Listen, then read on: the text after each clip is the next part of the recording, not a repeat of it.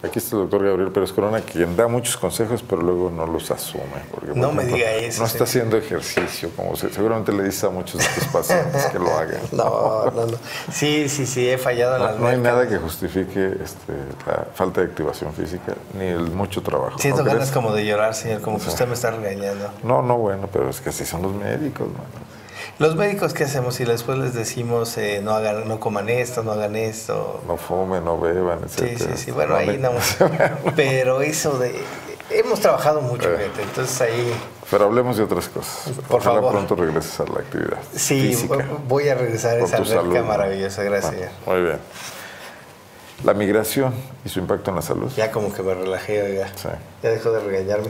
No, fíjate que, que esto de la migración en, y no solamente el efecto migratorio de las personas buscando una mejoría de sus condiciones de vida en los Estados Unidos, eh, en este caso, en la gran mayoría, bueno, hay Asia, incluso hay América Latina desplazamiento, hay Europa, pero El gran flujo es norteamericano. el gran aflu- eh, sí, sí, con los paisanos. em, O sea, Guanajuato es una entidad eh, con una, digamos, eh, la migración forma parte de su dinámica en todos los sentidos. Forma parte de su economía, sí. forma parte de, de- de su vida social y forma parte de su salud.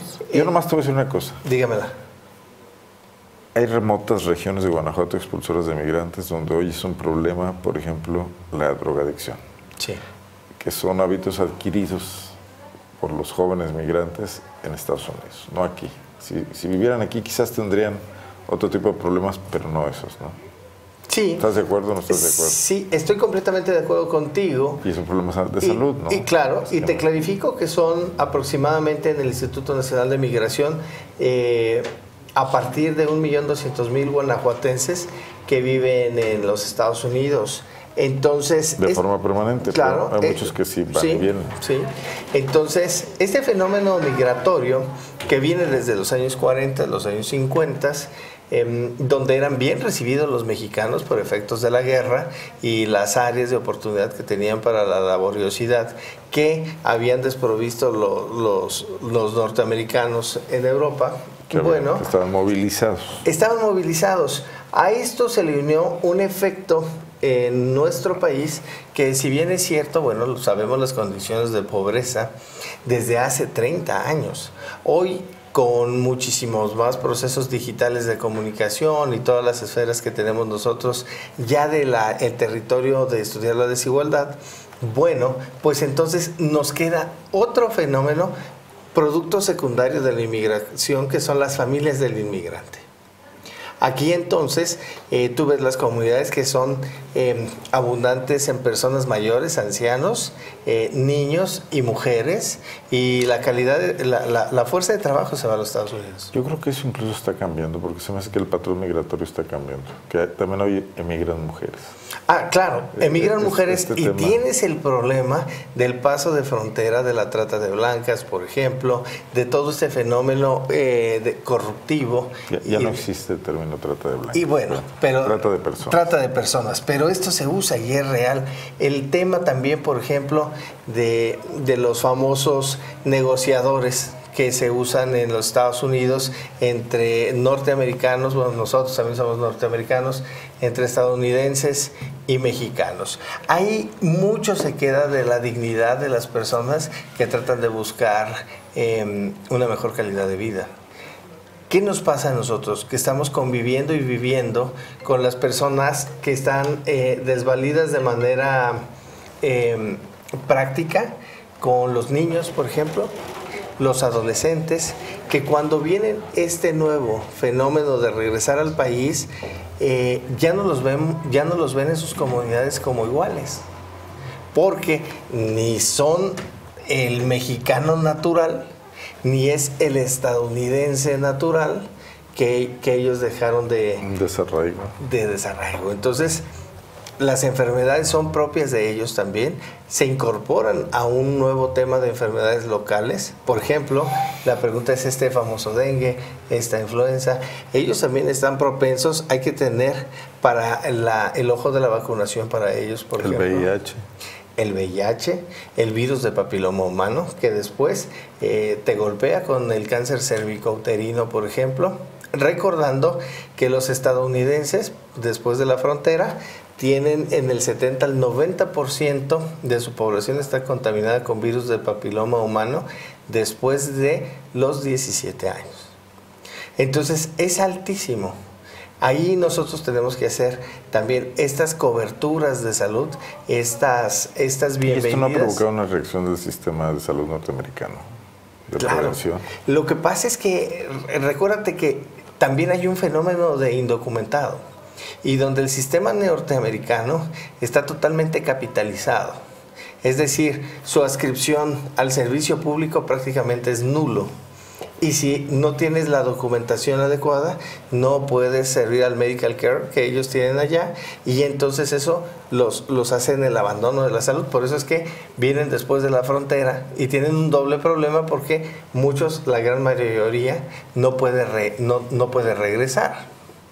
Entonces estamos ante un fenómeno de personas que nosotros tenemos que resaltar su, su dignidad, tenemos que ser solidarios con ellos porque son la segunda entrada de remesas eh, en, dólares hacia el país. Es decir, ellos te mueven, te mueven el Producto Interno Bruto en el capital mexicano. El segundo ingreso del país son las remesas. Tal, tal cual.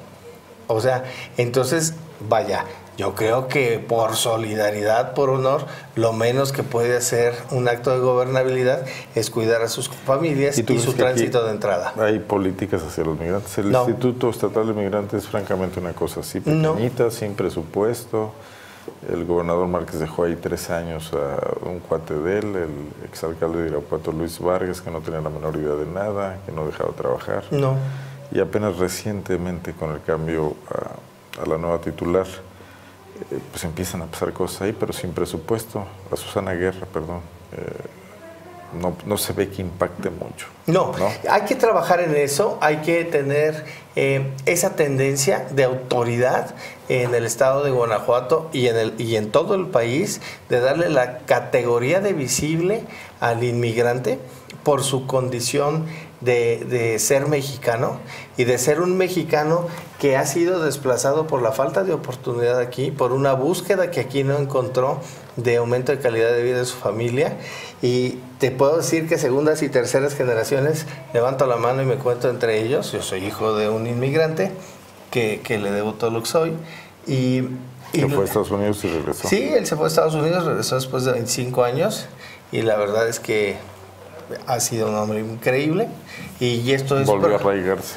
Volvió a arraigarse y volvió a, hacer, em, bueno, su, su familia y, y, esto como consecuencia, bueno, pues nos deja un corazón inmigrante en una segunda generación que lo vemos con un alto honor y con un gran agradecimiento. Pero tú no dices como el gobernador Márquez que eres un médico migrante.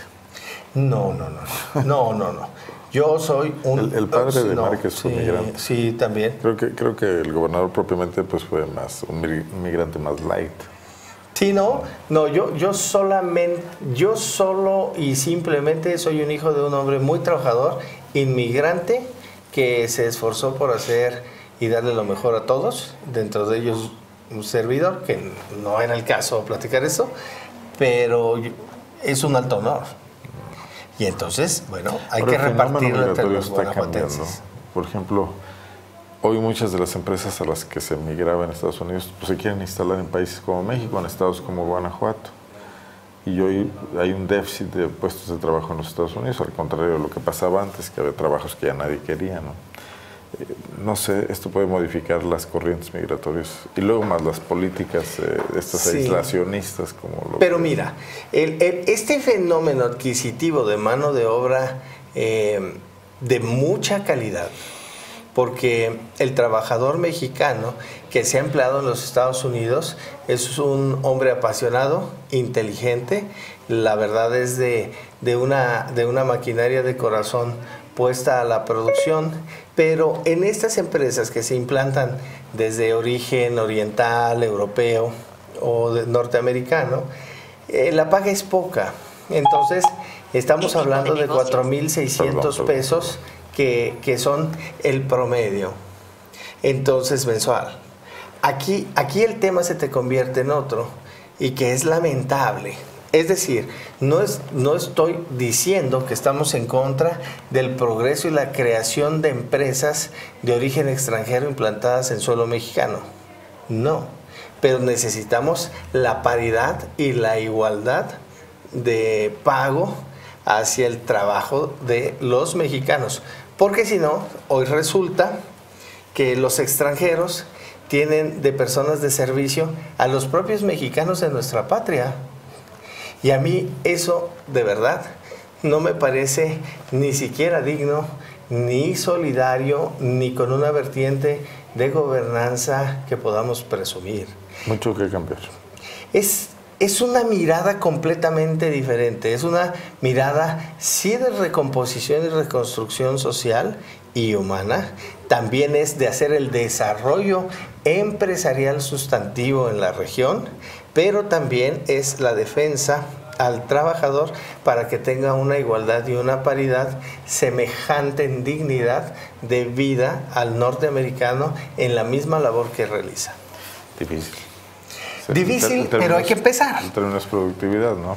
Las empresas se vienen a invertir acá porque la mano de obra es más barata. Si la, si la encareces tanto, no vendrán y aquí no producimos lo suficiente. Por eso el cambio tenemos que volverlo hacia, hacia detonar el Producto Interno Bruto Empresarial Mexicano y hacer que la productividad del suelo agrícola, de, de toda esta benevolencia hacia la ganadería, nuevamente resurja en este granero que fue el estado de Guanajuato.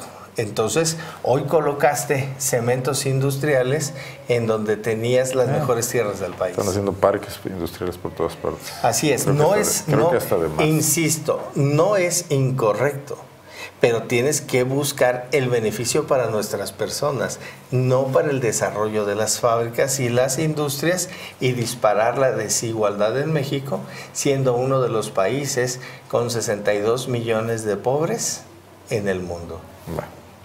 Muy bien, creo que el problema sigue siendo, como siempre, una clase política muy miope y muy corrupta. Ocupamos entonces una nueva mirada de subirte a un estándar de humanización, de reconstrucción social y de mayor academia, retirar los intereses privados del gobierno, hacer a un lado ese corporativismo donde amigos empresarios te sustentan para que llegues al poder y después eh, tengas que a un círculo virtuoso exclusivamente con ellos para que ganen dinero. Bueno, hay elecciones pronto, hay que estar atentos a lo que pase. Sí, señor. Muchísimas gracias, Gabriel. Iremos a nadar. es una promesa aquí hecha ante el público. Ahí estamos. Gabriel, nos gracias, vemos el próximo martes. Aquí estamos. Gracias. Vamos ahora sí a hablar de cine con Deus Díaz de Sollano, ya está por aquí en un momento.